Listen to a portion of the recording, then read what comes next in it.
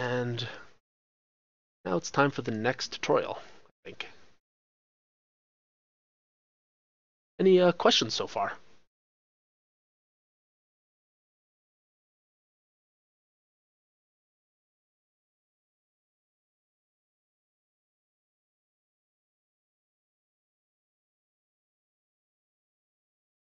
Okay, two day long scenario of doing basic submarine operations. That could be pretty cool, but maybe warship, ships, surface warships. Let's go quickly with submarines. It's probably micromanaging just one submarine. And, uh, okay, sub v sub in exercise area 1 sub versus surface in B, in the uh, region marked B. Sub versus surface warship with a ASW helicopter in region C, and sub versus land.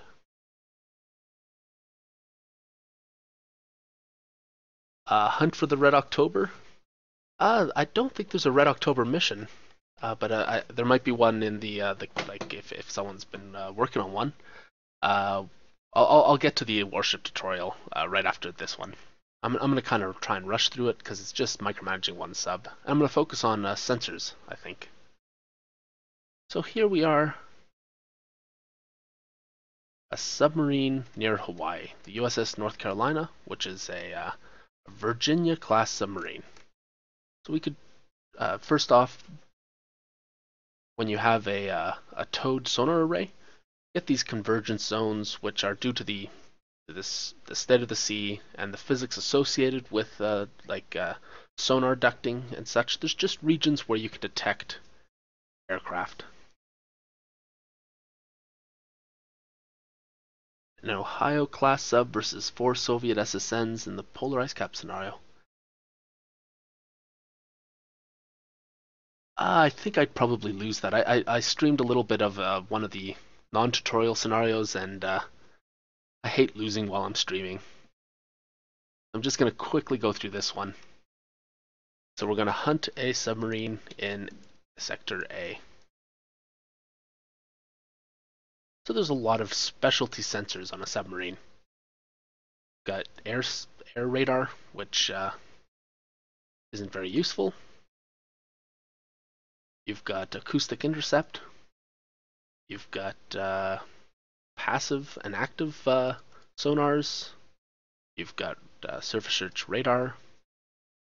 You've got uh, this. This one was probably a uh, like a air warning radar, I think. You've got a bunch of different towed array sonars and basically a bunch of sensors, bunch of weapons, a vertical launch array or a vertical launch system rather with tomahawks. We'll use that in the land attack part and uh, decoy launchers, magazines for the uh, for the four tubes up front. The four, uh, I think that's I don't know something like 20 inches or so. I don't know. Uh, conversions from metric to imperial. These numbers are kind of hard to interpret, but it means we're stealthy. We are a stealthy submarine. We have a non-magnetic hull, which means we can't be detected by the magnetic anomaly detector as easily. We're shock resistant, which means nuclear uh, and, and depth charges and nuclear depth charges aren't as damaging. And we have advanced propulsors, which means we can go real fast under the ocean. And we've got a nuclear reactor.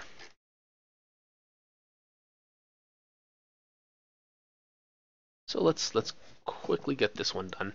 Since I gave it a cruise order and like kind of it's a modern submarine, it's it's gonna go pretty fast. Uh, manually order it to just over the layer.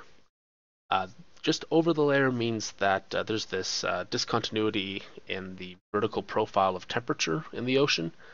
There's usually one uh, one layer called the hydrocline, uh, thermocline rather, where there's a distinct difference in water temperature between the upper layer and the bottom layer, and that leads to a difference in density, which leads to the sonar pulse being reflected. And that's that's where uh, like the, the the the complicated interactions between sonar and water, sound and water, lead to regions where you can be uh, detected and not detected based on the, be the bending of sound waves under the ocean. And since I've only got one ship to uh, to micromanage, I'm cranking up the time acceleration. So we're cruising in at 10 knots.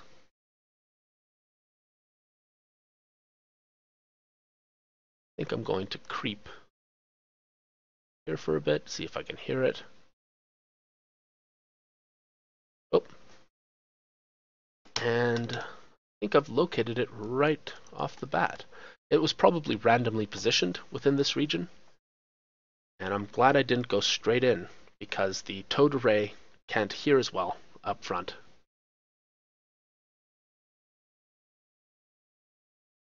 And again, the uh, the the engagement area uh, is is important here as well because if I just fire a torpedo, this green circle denotes my underwater weapon range. It'll probably just be able to inch out of there. So what I'm going to do is get in their baffles. Actually, there's probably a good chance that this thing is not a very smart, not a very uh, effective sub. We've detected it on our uh, BQG-4A, 5A rather. which is the hull sonar. It's kind of uh, sonar that's along the sides of the submarine.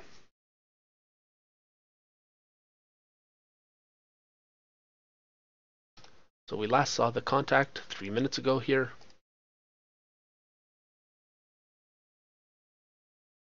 I wonder if it heard us and then went to silent running to uh, to try and avoid us. Uh, yeah, the uh, the the towed arrays and mast and antenna such is is done automatically. So when you uh, when you surface, you're it's kind of well not a surface, but when you go to periscope depth, it's assumed that you have your uh, radar intercept mast up and, and, a bunch of things like that. Uh, you can control uh, when sensors radiate when they uh, send out pulses of sound energy or, or radar energy. So what's the depth of this guy? 118 feet. We're right under the layer, uh, right over the layer rather. So it's kind of in an intermediate depth above the layer. So I'm going to just go under the layer. Since I know where he is, he might not know where I am.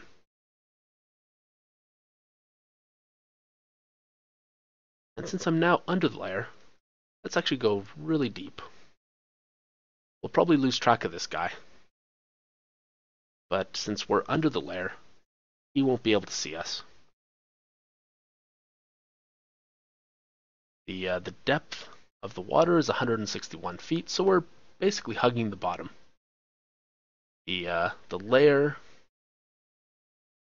uh, it's probably not a there's not a very strong layer. I, I don't really have a good sense of what the strength readout is, but uh, uh, there probably isn't a significant layer. Layers become a lot more important in much deeper waters.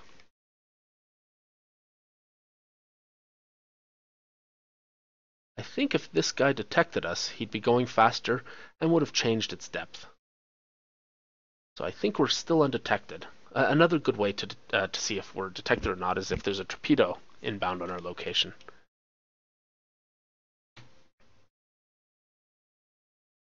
And now we're uh, we're approximately let's call this guy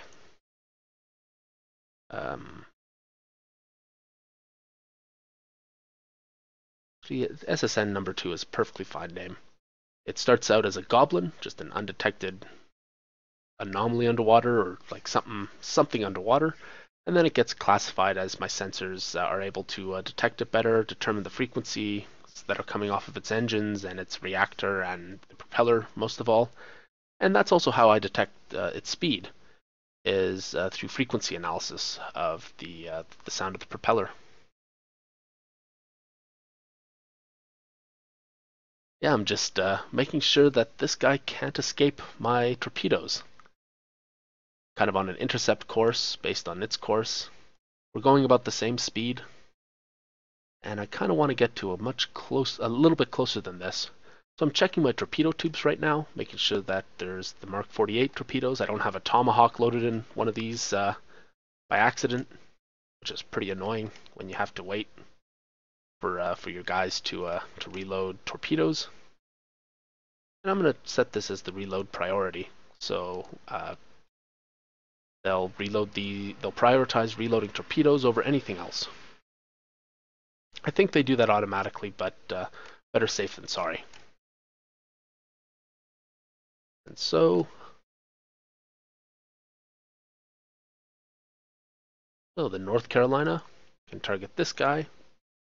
Let's give them two torpedoes. And then we're going to sprint away as soon as possible. As soon as we fire, we'll sprint. You can control torpedoes, and uh, there's no simulation, there's no modeling of torpedo wires being cut, uh, which which would happen if you sprinted away. But uh, oh, there go the torpedoes. And so I can actually modify where they're going. Though I think my my crew will actually uh, kind of control it. I just tried to do that. I think I would have to unassign these uh, torpedoes from their current uh, target, but I don't really want to do that. My crew will automatically steer the torpedoes into the target. There's a good chance that these guys will do a bearing-only attack on me, and you can see the, the speed has kicked up a notch. He's, uh, he's changed his depth, and it's probably changed his course as well as an increased speed. It's been 10 seconds since I saw him. These torpedoes are cruising in at 50 knots, and uh, it's time for me to get out of here. And since I'm going to be going this direction anyways, I might as well go that way. Uh, as deep as possible is perfectly fine.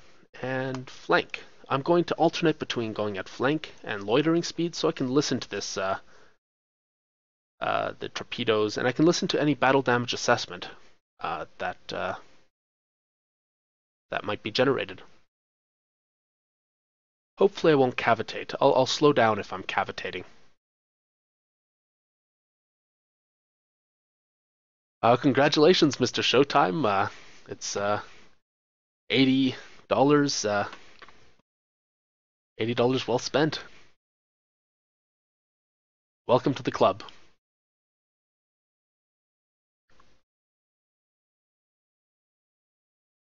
So this guy has done some maneuvers. I'm also uh, make turns for uh, for a high speed, so I'm I'm not able to hear him. And I, I want to change my course before uh, before slowing down. I actually really want to change my bearing, most of all. That's actually a good idea. Is change my bearing as quickly as possible. And then go this way. There's actually not much of a... Yeah. Not the best disengagement angle.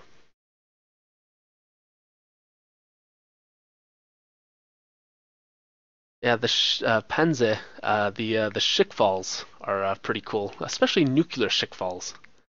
Uh, nuclear torpedoes really changed the whole submarine game. When one Soviet submarine can take out a carrier battle group with one torpedo, it's uh, kind of a humbling thing to watch. It's uh, I, I, think that was the Soviet plan all along was uh, a naval uh, a naval engagement, have lots of submarines with nuclear weapons, which can achieve mission kills. Even even a, a miss with a nuclear weapon will achieve mission kills on nearly everything nearby, and will knock lots of aircraft out of the sky too. So we're traveling much faster. You can see the active sonars now that we've reached the end of our uh, uh, plotted course for the torpedoes. Their active sonars are on, and they're going to execute a uh, a search pattern. And I guess I shouldn't sprint away right away because uh, these might miss pretty easily.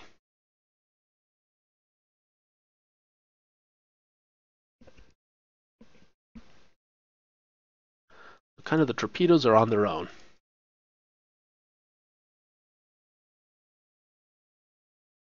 And we're cavitating. So 26 knots is too fast. Yeah, cavitating kind of really gives away your position. So I'm going to go back down to creep and see if I can hear anything. If this guy's sprinting, I should be able to hear him.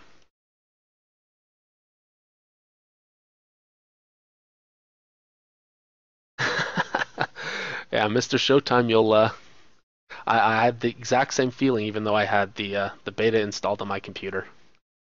It's uh, it's it's something to have uh, have the real game right there. Yeah, the install takes a while. I think cause, because it uh, decompresses stuff.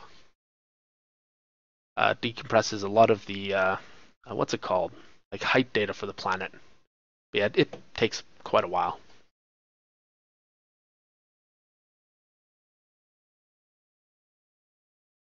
Based on this, doesn't. I think he's trying to hide because I can't hear him, I, and he's not sprinting. Otherwise, I probably would be able to hear him. The water's not too deep. So if, if you go really deep, you won't cavitate when you're at flank.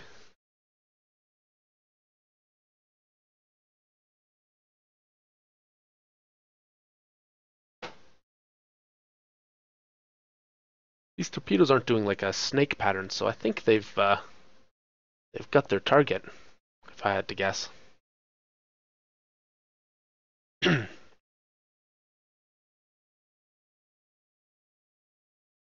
oh. There it is. It's it's sprinting at 25 knots. I think now that they, they, they probably started sprinting when they heard the torpedo's radar uh, sonar.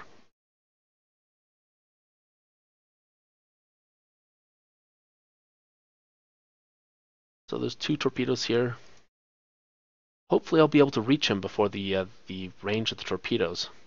I probably should have snuck closer. And since they're sprinting at me and I haven't picked up a torpedo, I might actually sprint after them. But uh, it's good to make sure that my bearing isn't uh, like uh, the, the real response to a torpedo coming at you is to fire one right back down the same bearing maybe even a spread. So I'm just trying to change my bearing as much as possible before uh, pursuing. Oh yeah, that's true. I am in their baffles. Yeah.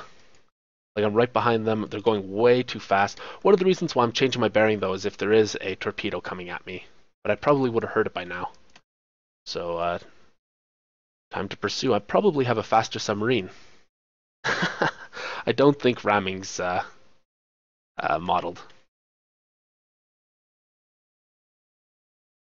I wonder if I can modify their speed for a, for a longer range. I'm not gonna I'm not gonna screw with them. This kind of bar under here is the amount of fuel left. I wonder if that's accurate for torpedoes. Actually, let's let's take a look. The Mark 48 Mod 7 Mark 48 Mod 7 has a max range of 6 nautical miles and a max speed of 65 knots, so I, I could modify their speed. Uh, 6 nautical miles. Oops. Where's that? Uh, what, what is that key combination for measuring? Okay, so the green circle was the uh, 6 nautical mile figure. Yeah, this this uh, This might very be uh, very easily be close.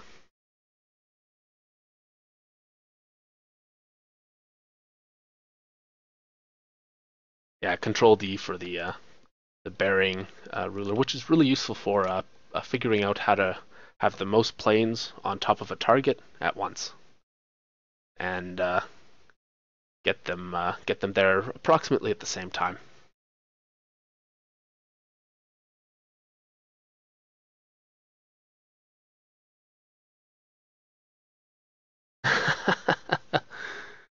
I'm just going to time accelerate because there's just one, one unit. 25 knots, I can make 32 knots. So I should be able to close the distance.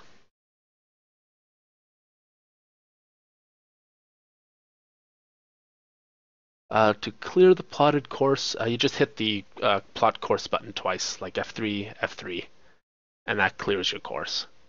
I think you can also press U for unassign, maybe. Okay, no, uh, it keeps your current course, but that that you press U to unassign from missions.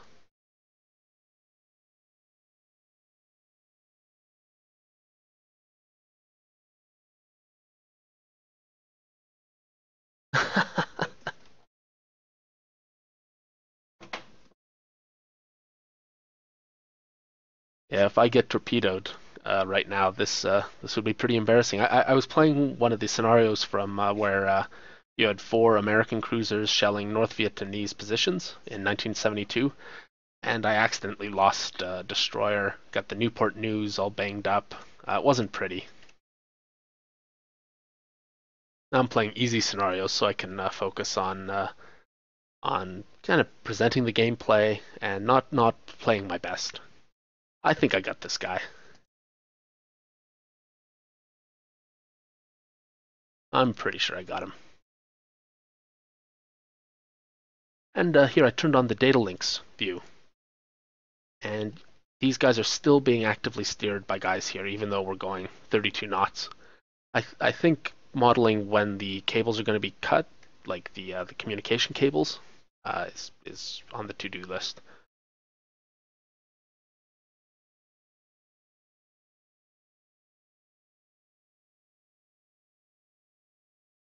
I think I got him. Awesome. So exercise area B. Uh, data links view draws these orange lines when there's a data link between two units. It's not just communication, like uh, it, it, it, assumes that every every unit is in communication, but things like uh, steerable AMRAAM missiles, uh, torpedoes with guidance wires, that sort of thing is modeled by this communication uh, the data link view. Yeah, linkage to weapons is right. Yep. And so this torpedo is just going to continue doing its thing. So we succeeded at the first part of the scenario. And it is now time to cruise up north.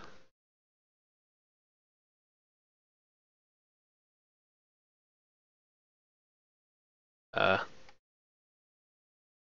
better not pick me up.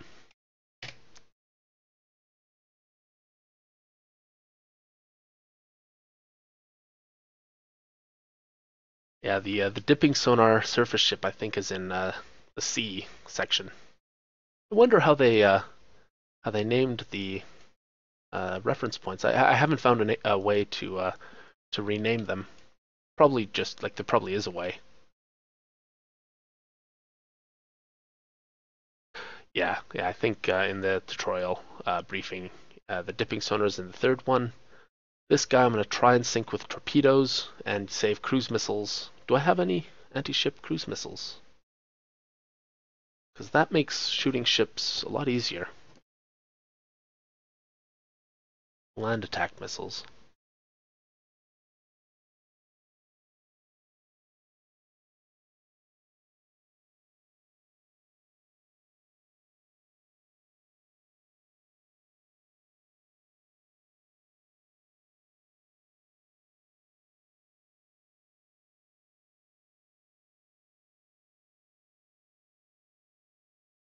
I wonder, the reason why we're not cavitating is because we're so deep. We're pretty damn deep. And the, the water pressure itself is preventing the little cavitation bubbles from forming.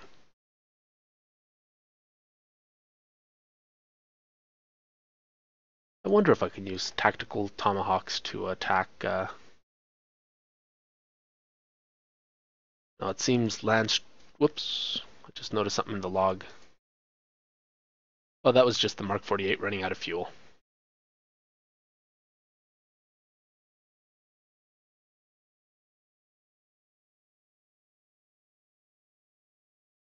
I'm going to just come to periscope depth for a moment and see if I can hear any radars.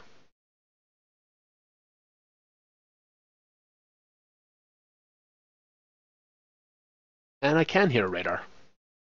So, uh, there is a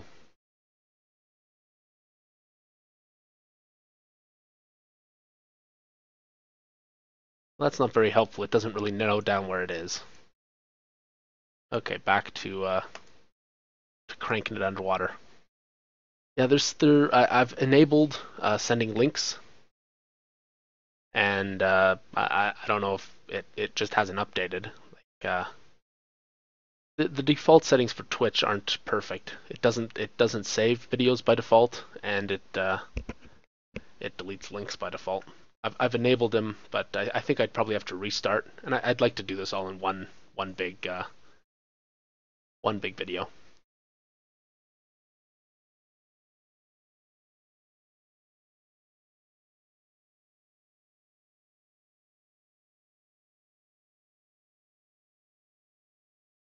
So the ship's probably in this portion of the uh, the sector of interest.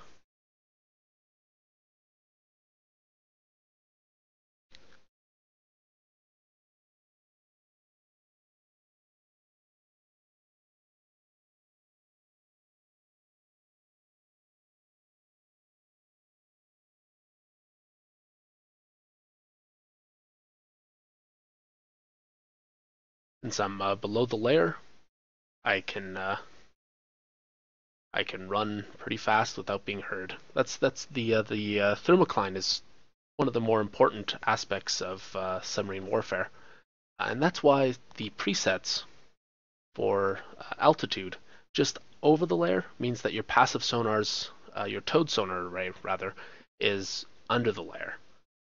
And I think surface ships, when possible, will try and get their uh, towed arrays underneath the layer to try and take a glance down there. Oh yeah, I shouldn't forget to uh, zigzag. You're right. You're right. And I'm gonna come back to cruise, uh, maybe a loiter speed. See just over the uh, layer because pretty much by definition, a surface ship is uh, over the layer. So I'm uh, hoping to be able to detect it with by kind of peeking up out of the layer.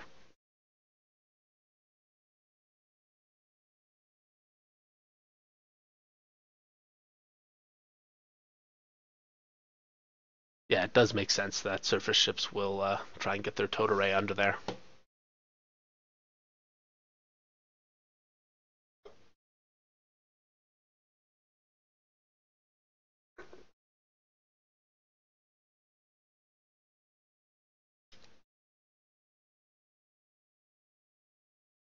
So I'm coming up. Medium frequency sonars are being emitted by this uh, skunk. So I've localized it significantly further. Yeah, there should be an indicator that shows the speed. It's uh, it's kind of irksome, really, to cavitate when you're not expecting to cavitate.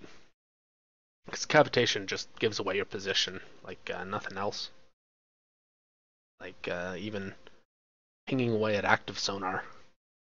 Uh, it's uh... I do know that there are TV cameras, uh, like uh, aircraft with TV cameras, like marine surveillance setups, uh, loadouts, can pick up your periscope. There's also periscope-seeking radars, and they can also see submarines based on sea state.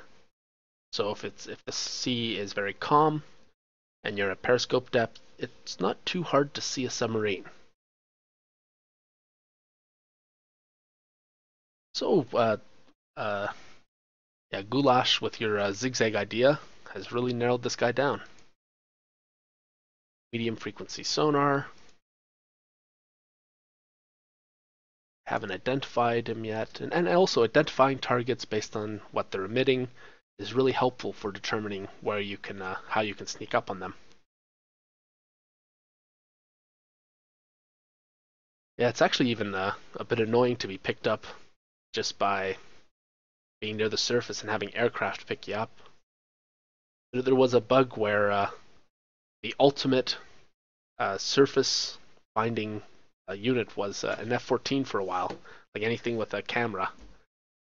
Uh, but that bug was squashed long ago been uh, like when I started uh, working as a beta tester, it, the game was just about perfect at that time. There were just some very odd edge cases, some weird behavior, And uh, one of the things that I like with the game is it's uh, like the UI interface is so much it's miles ahead of uh, of Harpoon, which is just about as old as I am, really.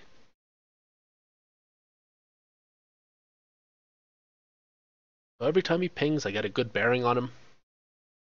And uh, now I've got a heading and a speed. He's crawling. He's creeping. So he's uh, he's kind of expecting me, I think.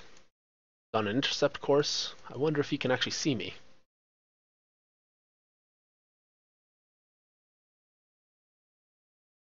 So I've changed course. And it doesn't look like he can.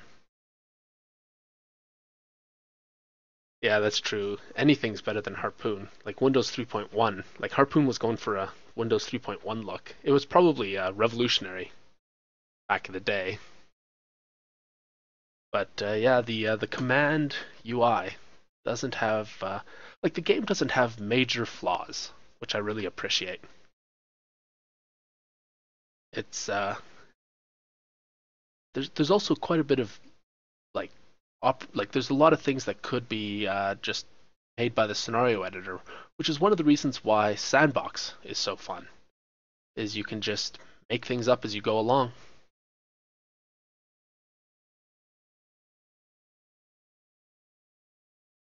I think one of the uh, I actually probably can't mention anything about what's currently being beta tested. I, I shouldn't mention anything, but uh, mouse zoom lag I know is a high priority.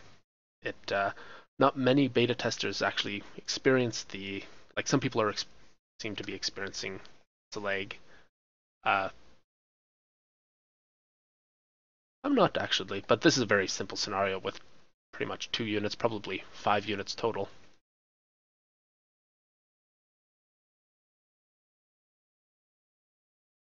But uh, yeah, I can tell you for a fact that the devs are are they're not taking a break, even though they deserve one. They're uh, they're not taking a break.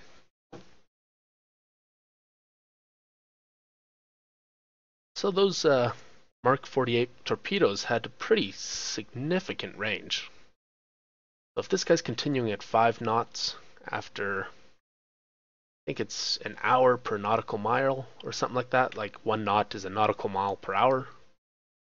So after the 60th, I sometimes get an Excel sheet and plot these things out and figure out where craft could be based on uh, timing and such, but I'm, I rarely bother.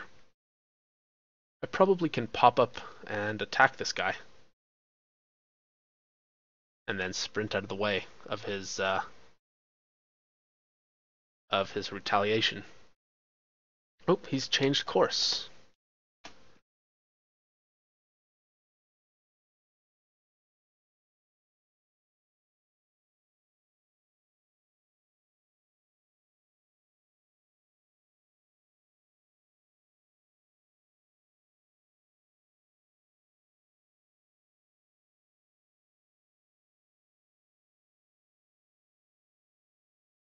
Let's go with three torpedoes.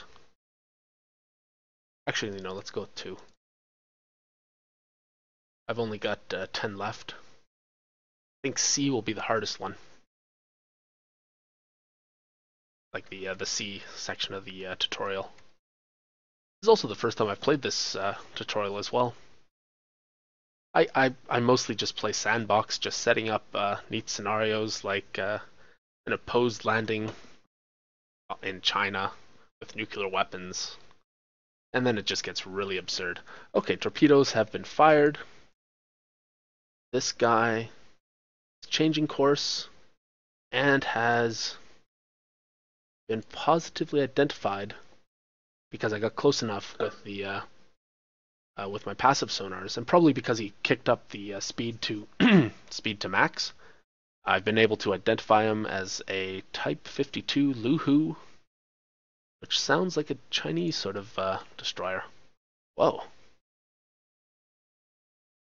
That's a lot of uh, lot of sensors. Kind of like uh, like Burke class, I would assume. Without a vertical launch.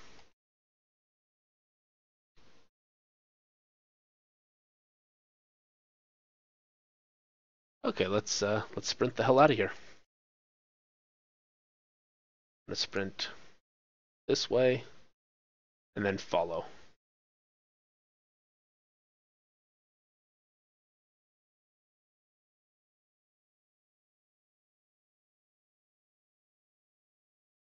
Something like that. I don't want to cavitate. Even though he knows my bearing. And so, like, you, you might have just noticed uh, there, the I, my solution changed its bearing, and the torpedoes were guided to the new solution. So it's worthwhile to, to sprint and then uh, creep for a bit to re-update to update the uh, the torpedo's uh, targeting, and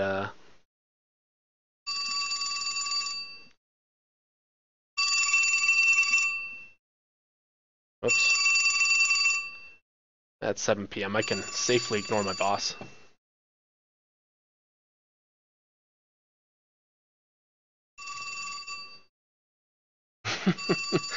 yeah, there certainly is a theme in uh, in my scenarios. Uh, I, I really like nuclear weapons. Uh, I like them from Harpoon days, and uh, Harpoon didn't have a good modeling of nuclear weapons, but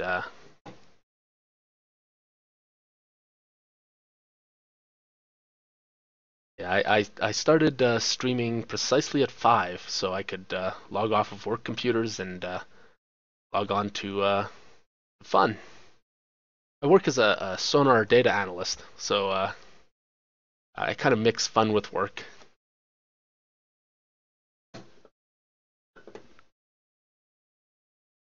So torpedoes are giving a given an intercept course on this bogey, and I'm gonna uh, with this skunk. And I'm just going to accelerate time because I think I've got a kill on him.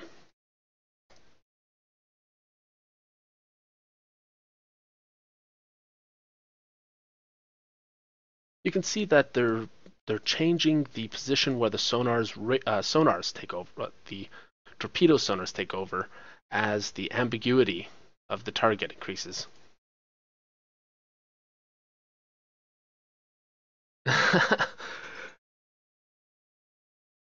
Yeah, nuke the terrorists to nuke their uh, to the nuke their weapons. A lot of scenarios become really simple if you're uh, if you give yourself a bunch of ICBM silos and uh, and nuclear doctrine, the ability to just nuke whoever you'd like.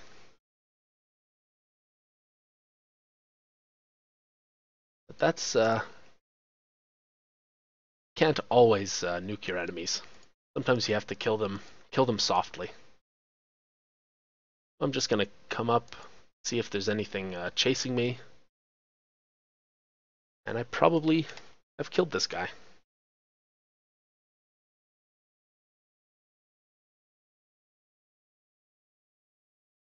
I think I'm still below the layer, so I don't know precisely where he is. And I think the torpedoes have been given, uh, or have been allowed to start turning and like doing a snake or a circle search pattern based on this uh, this entry right here. So I got to the middle of the target ambiguity zone and the torpedo starts searching. He's probably up here, so the torpedoes, I was hoping one torpedo would turn left, one torpedo would turn right. That'd be the way I'd uh, program them. I've been wondering about uh, database modifications for this game because the, uh, the database is a SQLite database. I've, I've kind of peeked inside of it. Uh, it has a pretty set format, so I, I, haven't modified it myself. But it's just neat looking at all the uh, all the different things that are modeled, all the different uh, weapons, all the different platforms, sensors, everything.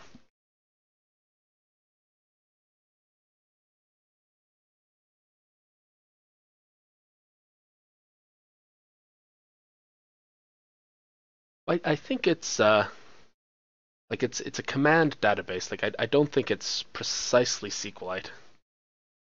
Uh, but uh, I've I've opened it using uh, like a SQLite database program.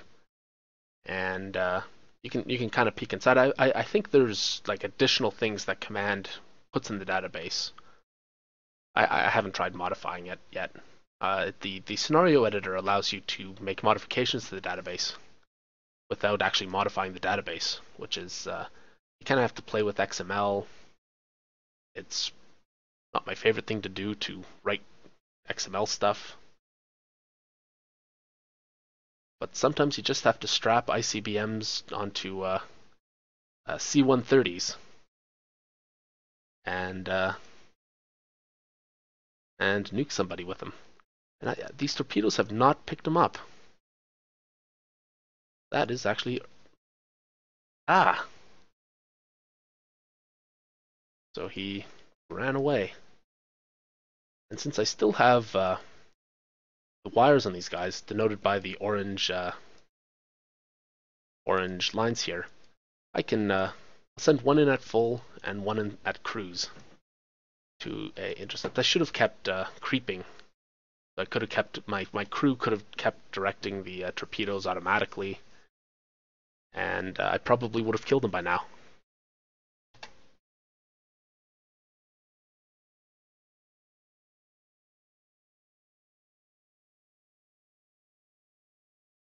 There we go. I'm still picking up him up primarily by his he's actively pinging. He's also driving pretty fast, so that's that's how I'm probably picking them up is just through uh, through sonar, uh, passive sonar, not just active intercept. Active intercept gives you a bearing, not not a great range.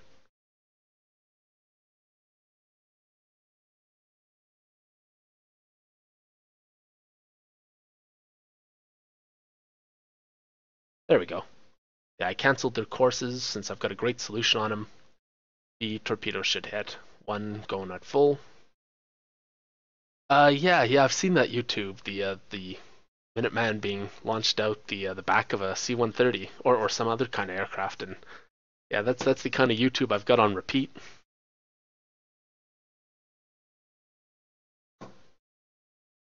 Yeah, talk about uh, airborne alert. But this guy's dead. Even though he did give me a, a run, like he uh, he cleared out of there pretty quick. Yeah, I think this six. Uh, whoever said that earlier in chat, it's uh, the six. Uh, oh yeah, I, I, read the Cold War thread all the time. But yeah, the, the six nautical mile range is probably not the. It's not the actual range of the torpedo. It's just something for the AI, like a good engagement range.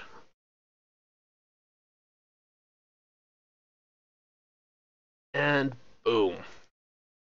Flooding as determined by uh, passive sensors on my submarine. Sometimes it tells you. I was kind of expecting it to say like certain sensor detected metal damage assessment. And so this is why I'm glad I uh, I sent two torpedoes. Is actually there's a there's a minimum amount of flooding. It could be that they uh, they use something like a uh, Chinese Nixie uh, something to spoof the torpedo, and it just damaged them a bit. They're going at 10 knots, so they still have uh, power. They're still trying to get out of there. And I'm going to... I'm going to keep... I'm going to just watch this torpedo. Because, like, either it's going to hit, or he's going 10 knots, I can I can chase him down.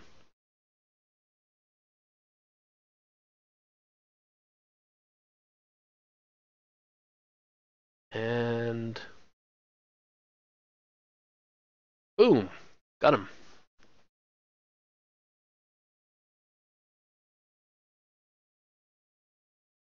On to the uh, on to the hardest one. I still haven't gotten a battle damage assessment on this guy yet, but uh, the trigger, uh, the mission trigger fired, so uh, I'm quite happy just cruising along to the next objective.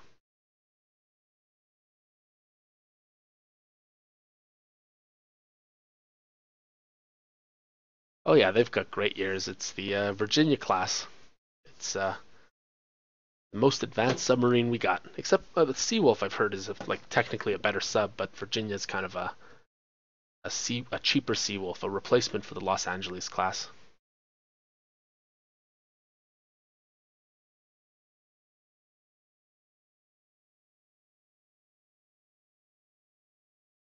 One of the uh, things I like about this game is mission kills.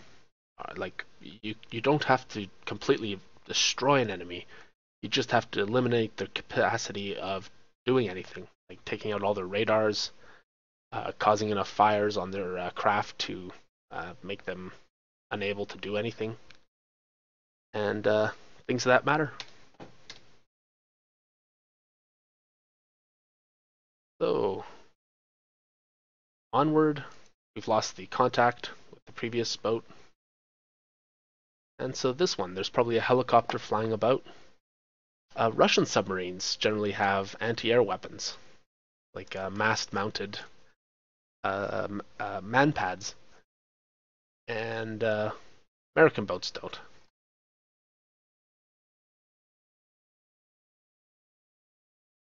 So again, going to uh, change my bearings, zigging and zagging to achieve a bit of a solution and creeping just over the layer.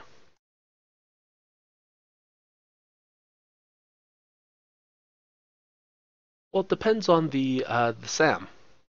Like uh, some SAMs won't fire without an illuminating radar, so if you take out all the illuminating radars, you won't be able to fire SAMs. Uh, some SAMs don't require uh, illuminating radars, and those can be fired from just the uh, the Mark One eyeball. Most weapons can't do a bearing only attack. I've been uh, I've been considering requesting that ICBMs be allowed to do bearing only attacks.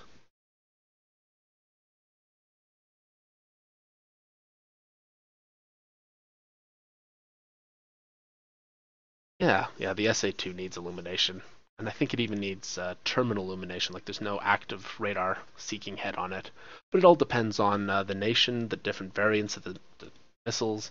There's just so much detail in this game. Like uh, facilities. Let's go with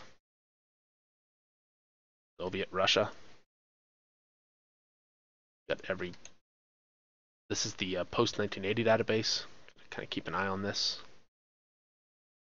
And uh, let's go for SA2, like the early one from 65 onward. Needs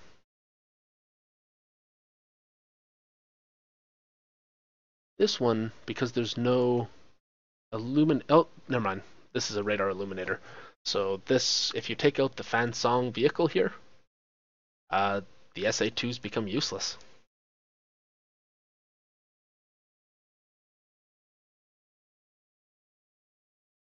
I played a submission versus a full anti subgroup yet.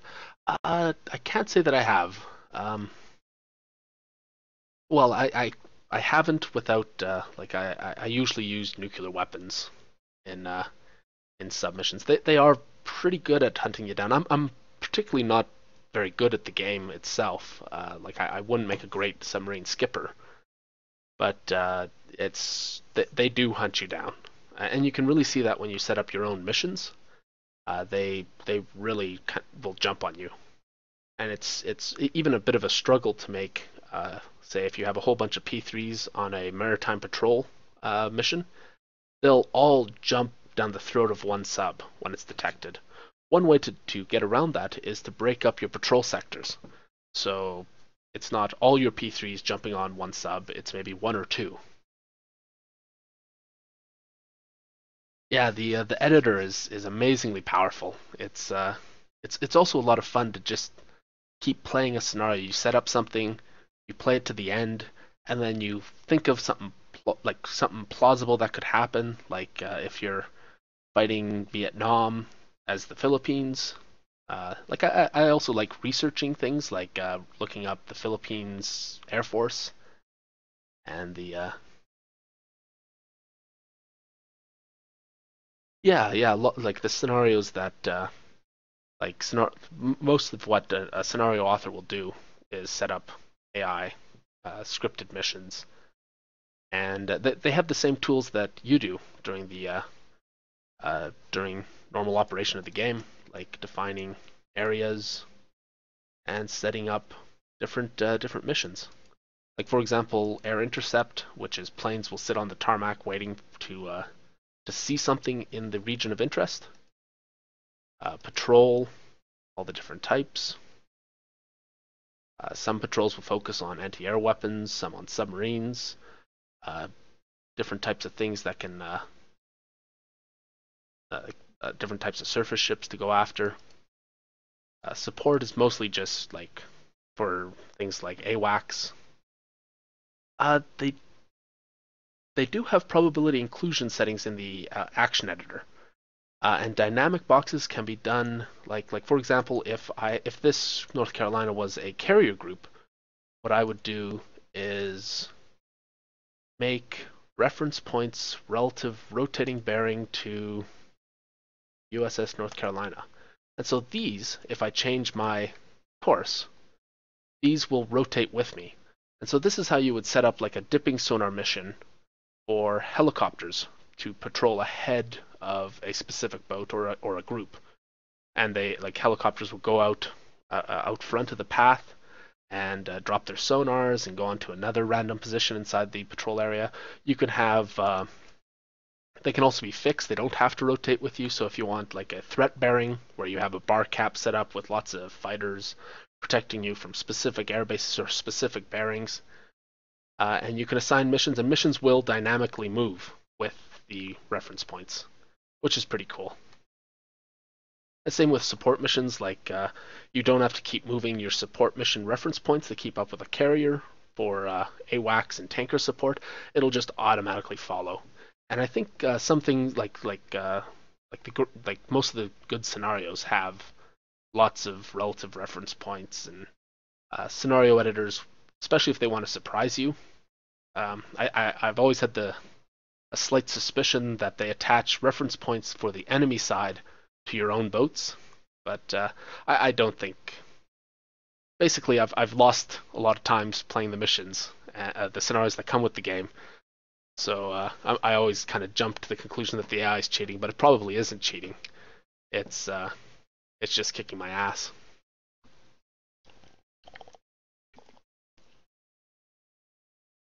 One thing that's fun with the mission editor is jumping from side to side and seeing if you're detected or not.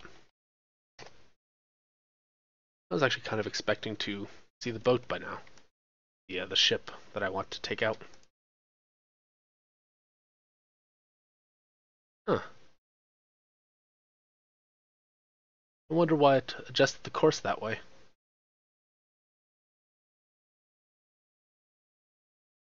Maybe it was trying to go around this ridge or something. Yeah, if, if you ever find out how to rename reference points, uh, it's obviously possible because like C1, C2, C3, C4. Uh, it's I just don't know the key combination. Yeah, stealth aircraft are a really interesting thing in this game, and uh, they're really fun to play around with. Oh, there's that helicopter, probably being intercepted, like it's it's dipping its sonar in. Let's uh, let's see if I can win this scenario.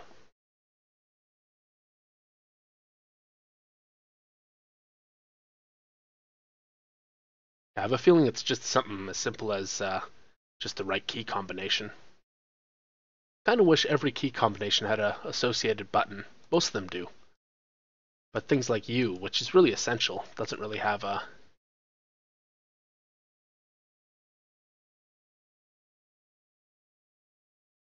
Okay, they're getting closer to me.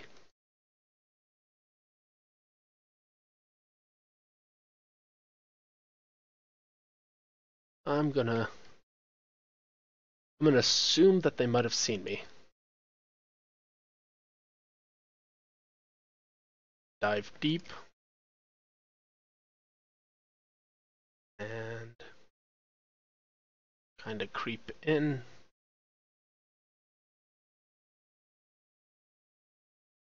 mission dialogue.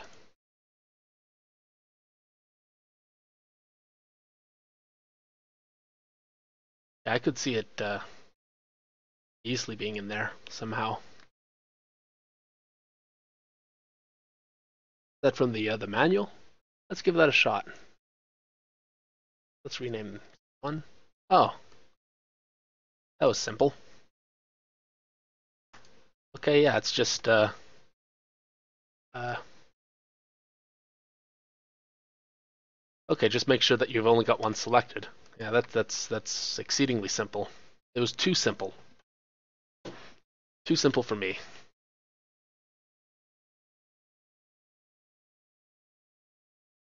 Take a quick look.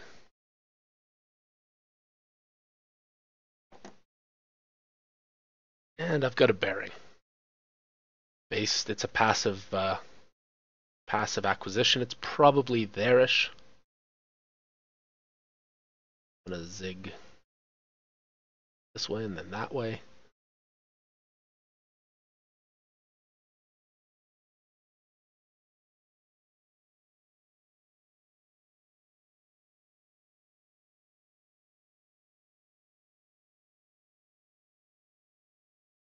Do know that sometimes passive sensors can detect hovering helicopters very near your air, uh, your submarine.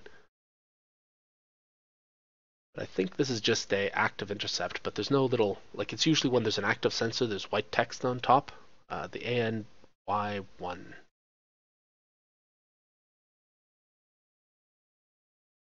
Okay, yeah, that's the acoustic intercept. It's dipping its sonar in, and uh, I'm gonna get this guy.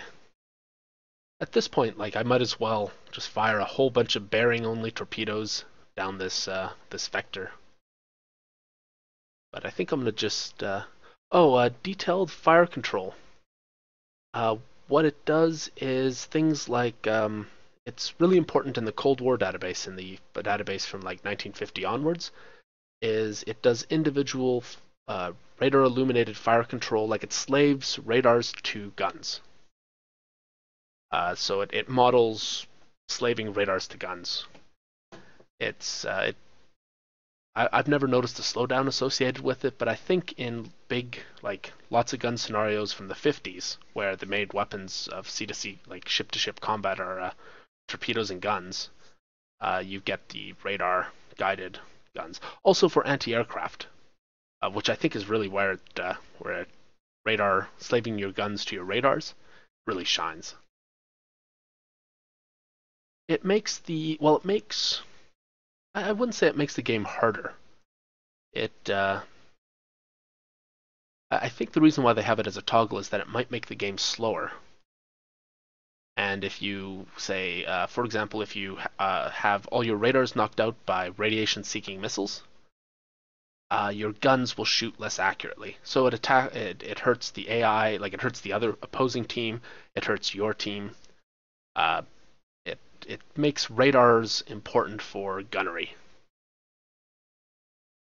I could be completely off base. Uh, I'm I'm probably I'm just going from memory from uh, from the beta forms.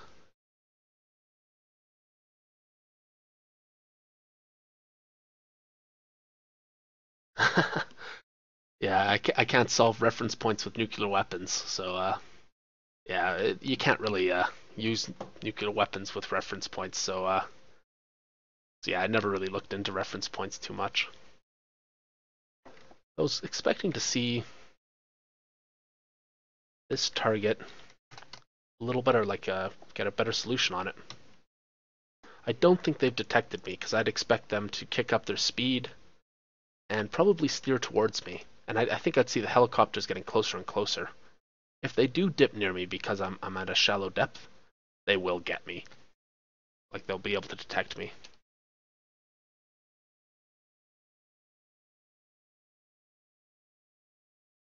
Oh. I think I might. Um.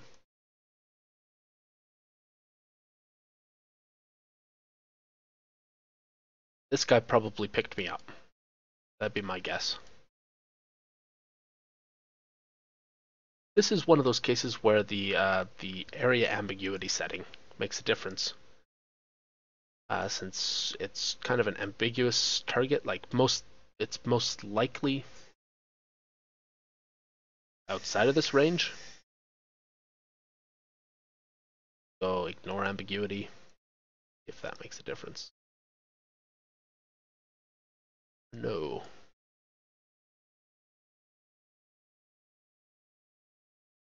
I know that that does something somewhere of that sort. And they've got me. They're real close. Bloody hell. I shall do bearing only attacks.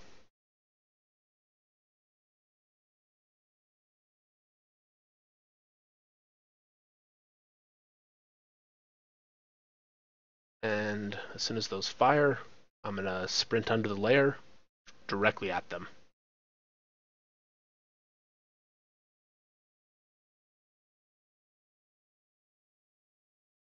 And so torpedoes have been fired. Go to flank speed deep as possible.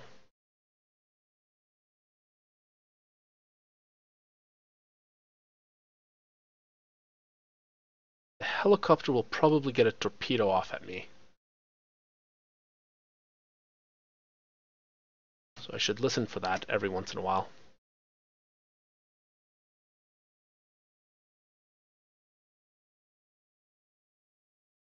Okay, the helicopters stopped dipping in this region.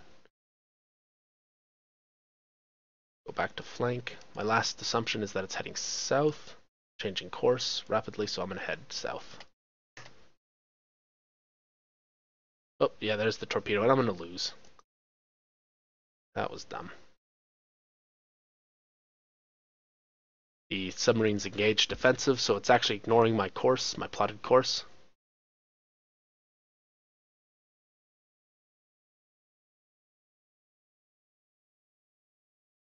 And, um, oh.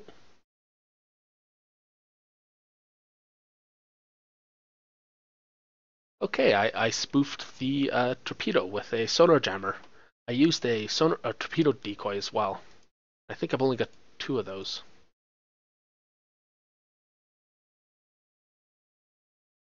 I, I guess I used one of these expendable weapons here. And another torpedo.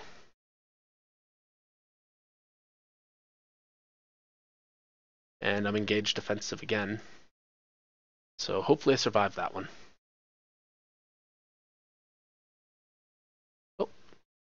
Once again, uh, the decoys worked. The torpedoes are uh, active. I can still steer them because I've got the data links. Yeah, there's no modeling, like, like I mentioned earlier, there's no modeling of cutting the wires yet.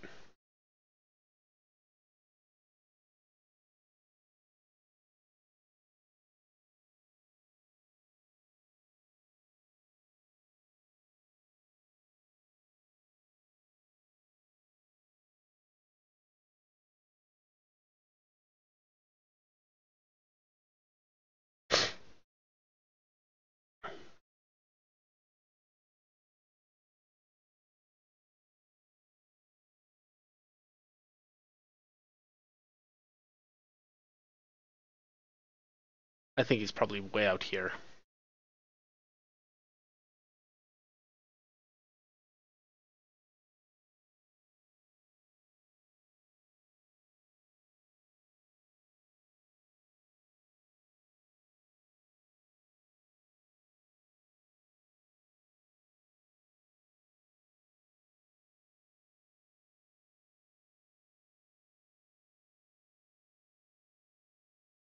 And it's going after the last known position.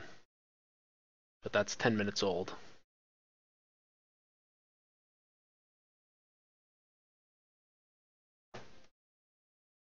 Damn, I was hoping to actually see the bloody boat. This is this ambiguity box is oh there it is.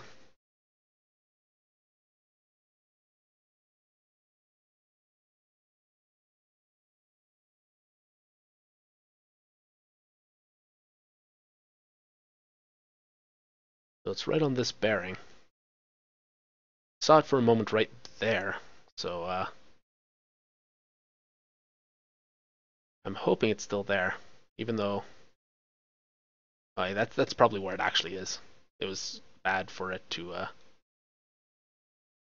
these torpedoes to assume that uh, like it was spurious contact there. And there's still a helicopter that I'm a little worried about.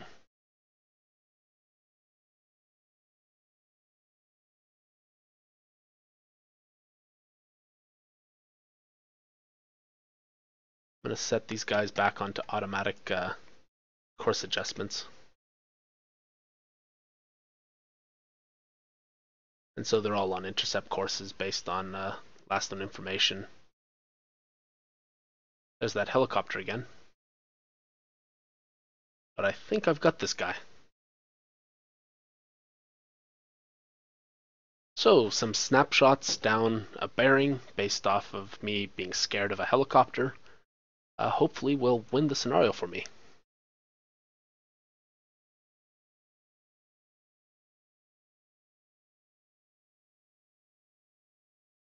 The fast boat.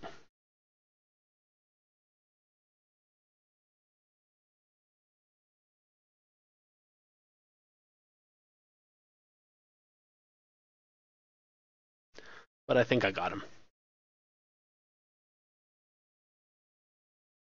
Boom. And boom.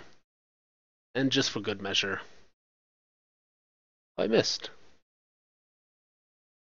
Okay, in any case, that guy is not having a good day. The helicopter's still dangerous. I'm going to fire one more torpedo at it. Oh wait, that's way out of range. What am I doing?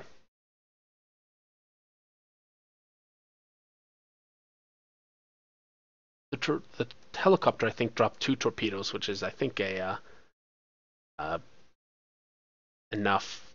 Like, I, I think it's expended its payload. I'm gonna just uh, sprint after this guy.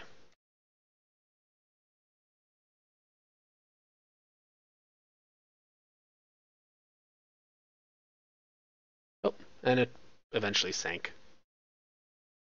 And so one to two uh, Tomahawk cruise missiles at this building right here. And I can do that probably from the goddamn west coast of the States. Just a little bit off the coast, so uh, this will be a relatively easy target.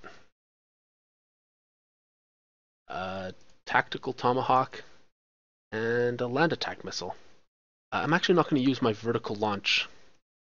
Like these are the vertical launch guys. These are ones from my magazines.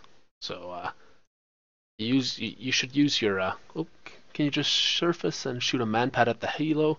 Uh, no, because I am a American sub, and we don't really have uh, manpads on American subs.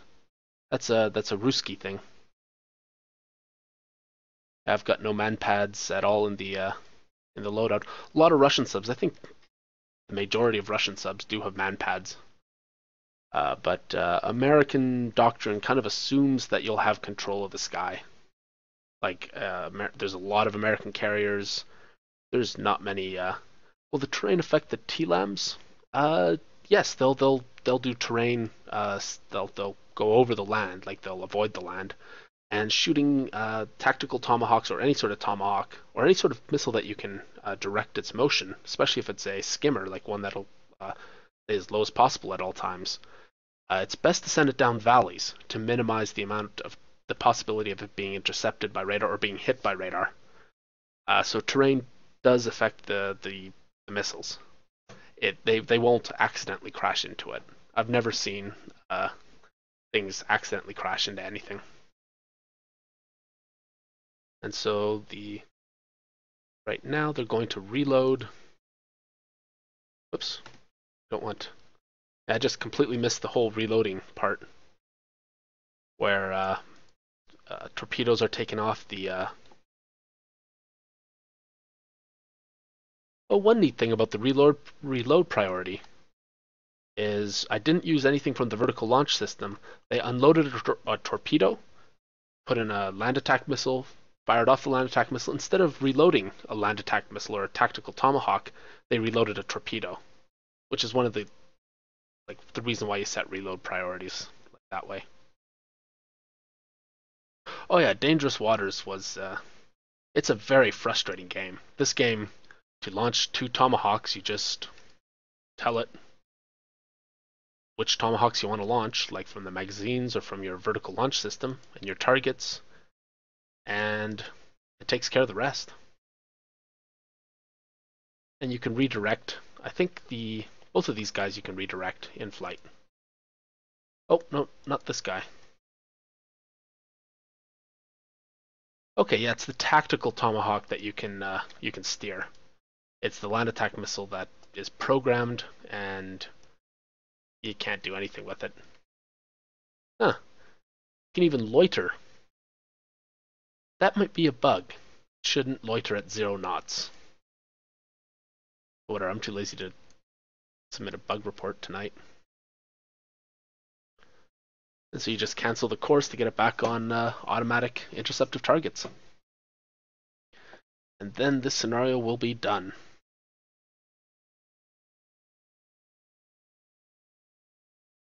I love scenarios that combine every aspect of naval warfare. Like submarines firing tactical tomahawks, and if you had like, I don't know, SEALs or something that needed to wait for the tactical tomahawks to come in, or tomahawks kind of loitering, waiting for targets and then smashing into them. Uh, drones being used to just chill out over uh, for, for long durations, longer than any uh, any human pilot aircraft could. And uh, there's just it's such a complicated thing. Um, does it actually slow to zero knots? Let's try it.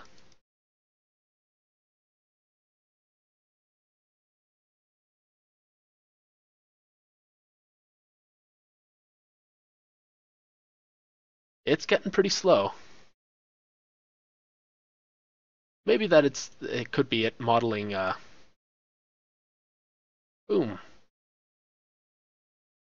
Yeah, it does have satellites. I'll I'll just uh, quickly final score is 4. I think a 4 is like if it's a major victory, 4 is the highest score you can get. Like I did use maybe one or two too many torpedoes and maybe one or two too many tomahawks or one too many. I didn't use. I, I only used the right amount of tomahawks, but I did use a lot of torpedoes. Yeah, I'll uh, I'll quickly show you guys uh, the satellites if if you're interested. They're you have to kind of craft a scenario to make them really useful.